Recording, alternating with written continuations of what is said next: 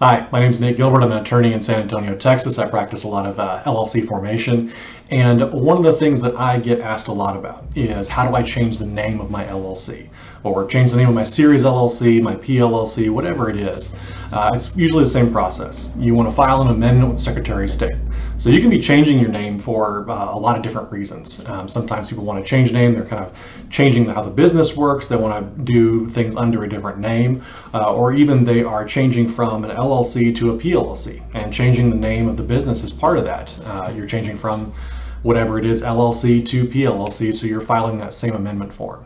So when you file that amendment with Secretary of State, you're basically amending the original certificate of formation that you filed. You can also request a restatement of the certificate of formation that reflects those changes. Uh, at the same time, there's an additional fee for doing that. Um, but that is generally the process for changing your name of the LLC. You can also just file a DBA. If there's something that you want to do that's a little bit different within your business and you want to practice or do certain things under a different name, um, filing what's called a DBA or an assumed name certificate allows you to perform and basically run your business under a different name uh, for certain areas, for certain counties in Texas, whatever it is um, you can run your business under a name, under a different name. It's a $25 filing fee for an assumed name certificate. Um, and under the business profile, when you look it up and under the old name, uh, you will pull up and it'll have all of the uh, assumed names or DBAs uh, for that particular business listed in one, one uh, place on that profile.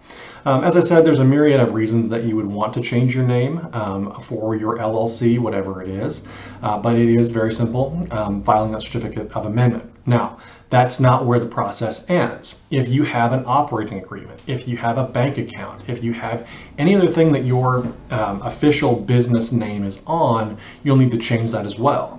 Changing your operating agreement may require um, a vote of the members. Uh, if you're a single member LLC, you still need to record uh, that corporate consent uh, to change the name of the LLC. Even if you're single member, like I said, uh, it sounds a little silly that you need to have a member vote if you're a single member LLC, but trust me, it's, it's a good idea to do that.